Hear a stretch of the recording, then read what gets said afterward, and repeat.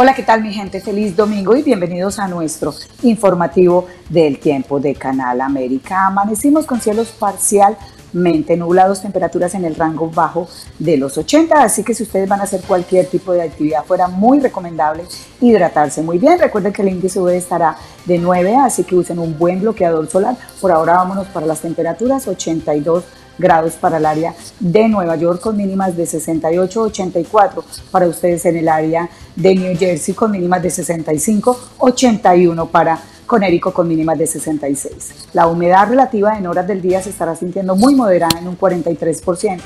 Vientos que ingresan desde el norte ayudando a que estas temperaturas no se sientan tan agobiantes de 9 millas por hora.